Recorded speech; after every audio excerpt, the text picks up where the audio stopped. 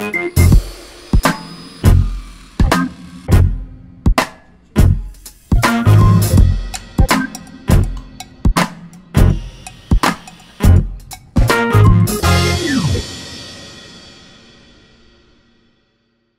Merhaba arkadaşlar. Son bölümde Philips Aqua Trio 9000 kablosuz süpürgenin kutu açılışını çekmiştim. Bu videoda 10 günlük deneyimden sonra bu süpürge ile ilgili tecrübelerimizi, süpürgenin olumlu ve olumsuz yönlerinden bahsedeceğiz. Çekimde bana eşim Nevra eşlik edecek. Hatta daha çok kendi objektif yorumlarını yapacak. Ben de kendi deneyimlerimi elimden geldiğince anlatmaya çalışacağım. Hayatım hoş geldin kanalıma. İlk defa seninle bir video çekiyoruz. Heyecanlı Hoş mısın? bulduk. Biraz heyecanlıyım. Benim de ilk videom olduğu için. Şimdi o zaman süpürgemizle başlayalım. Öncelikle bu süpürgeyi neden aldığımızdan bahsedelim biraz istersen. Neden tercih ettiğimizi Nevra sen anlatmak istersen başlayabilirsin. Ya ilk olarak şöyle anlatabilirim. İkimiz de çalışan insanlarız ve evde küçük bir çocuğumuz var. Dolayısıyla sürekli olarak süpürgeye ihtiyaç duyuyoruz. Yerlere bir şeyler dökülüyor, küçük küçük çöpler dökülüyor, ıslak, kuru hiç fark etmez. O yüzden de e, pratik temizlik yapabilecek bir şeylere ihtiyacımız vardı ve biz bir araştırmaya girdiğimizde bu süpürgeyi tercih ettik. Bizim için en uygun olanın bu olduğuna karar verdik. Tabii ki Philips markasının verdiği güvende seçimimizde büyük oranda etkili oldu. Şimdi süpürgede bulunan iki kademeden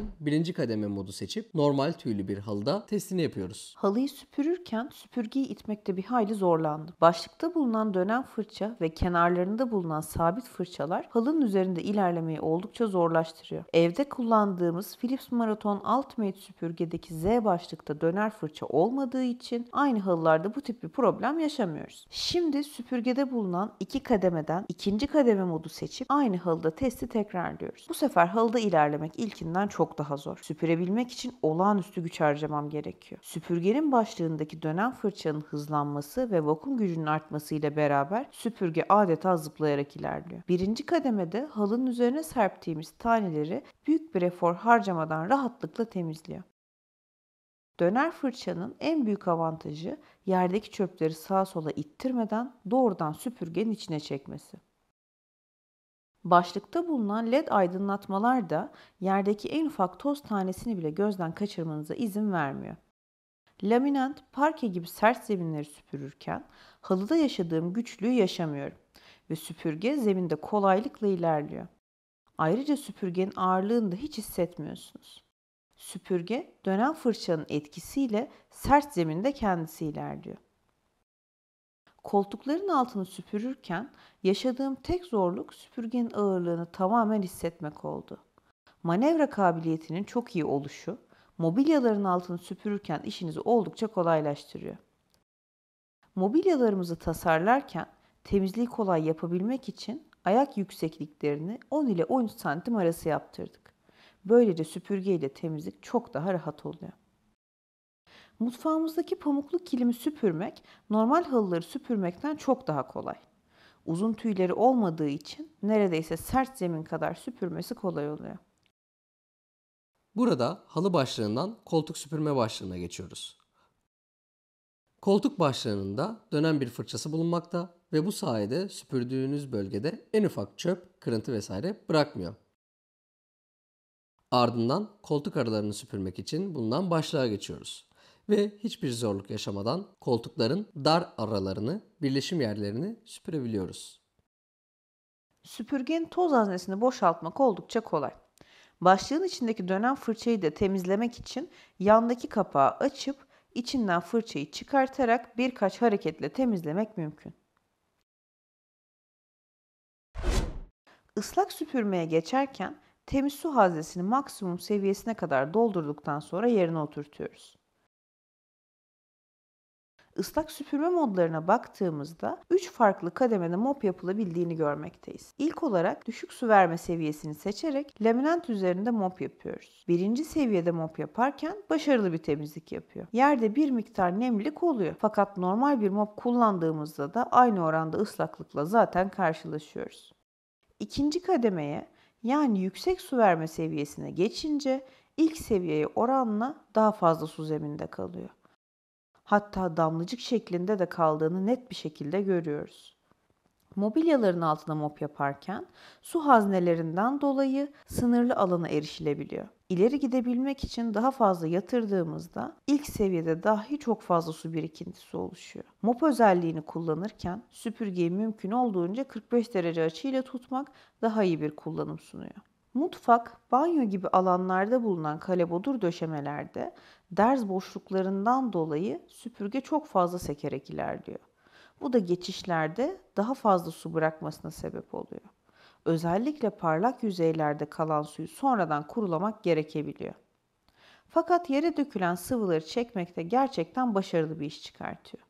Temiz ve kirli suyun ayrılması, ayrıca dönen fırçaların kendini temiz suyla devamlı temizlemesi, yerde en ufak bir leke bırakmamasını sağlıyor. Yere sadece su döküldüğünde yalnızca vakum kademesini açarak hiç su vermeden yerdeki suyu tek seferde başarılı bir şekilde çekiyor ve yerde herhangi bir ıslaklık kalmıyor. Aslında yaptığımız denemelerde de görüldüğü gibi yere dökülen ister kuru, ister sıvı, ister aynı anda hem sıvı hem de kuru leke olsun, mop özelliği kusursuzca bir iki hareketle yerleri tertemiz yapıyor. Süpürgeyi standa koyduktan sonra pis su haznesini alıp döküyoruz. Ardından temiz su haznesini tekrar maksimum seviyesine kadar temiz su ile dolduruyoruz. Süpürgenin LCD ekranında çıkan otomatik fırça temizleme talimatını takip ederek yaklaşık 4 dakika süren temizleme sürecini başlatıyoruz. Fırçalar 4 dakika boyunca bölgesel olarak çalışarak temiz su ile temizleniyorlar. Arada hızlı dönerek vakum gücü artarak fırçanın üzerinde kalan tüm kirleri alıp pis su haznesine taşıyor. Bu işlem sonunda süpürge temiz su haznesinin yarısını kullanmış oluyor. Ardından fırçaları yuva temizleme fırçasının arkasında bulunan aparatla çevirip çıkartıyoruz. Standın üzerinde bulunan yuvalara çıkan fırçaları kuruması için bırakıyoruz. Fırçalar çıktığında çok hafif nemli oluyorlar. Öyle çok ıslak bir şekilde çıkmıyorlar. Son olarak deterjanlı mop yapmaya geldik. Burada Philips'in kutusundan çıkan yer temizleme solüsyonunu kullanacağız. Deneme olacağı için çok az bir miktar koyarak test ediyoruz. Laminant üzerinde düşük seviye su ayarı ile test ediyoruz ve sonuç gerçekten çok güzel oluyor. Hem de solüsyon cidden güzel kokuyor. Burada Philips'in bir uyarısı var. Köpüren cinste deterjan kullanımını kesinlikle önermiyor. Motorların zarar görebileceğini öngörüyorlar. Islak mop yaptıktan sonra kapatma tuşuna bastığında su vermeyi kesiyor. Sadece yaklaşık 4-5 saniyelik yüksek vakum gücü devreye giriyor. Eğer cihazı kapattığınızda suların damlamasını istemiyorsanız kapatma tuşuna bastıktan sonra seri şekilde ileri geri yaparak altında kalan suyu güzelce çektirebilirsiniz. Bu çekim yaklaşık 3 saat sürdü ve şarj %100'dü. 3 saatlik testler sonucu %30 ile şarja geri takıyoruz. Tabi normal süpürme zamanında birinci kademe süpürme 45 dakika, ıslak mop yapma 25 dakika süpürmeye izin veriyor. Tam dolu bataryanın süreleri bu kadarla sınırlı. Evet arkadaşlar bu videoda dilimiz döndüğünce süpürge ile ilgili deneyimlerimizi aktarmaya çalıştık. Anlatmadığımız, atladığımız bir konu kaldı mı bilmiyorum. Ama eğer sorularınız varsa videonun altına yorum yazarsanız elimizden geldiğince yanıtlamaya çalışacağız. İzlediğiniz için teşekkür ederiz. Abone olmayı ve beğenmeyi unutmayın. Bir sonraki videoda görüşmek üzere. Hoşçakalın. Hoşçakalın.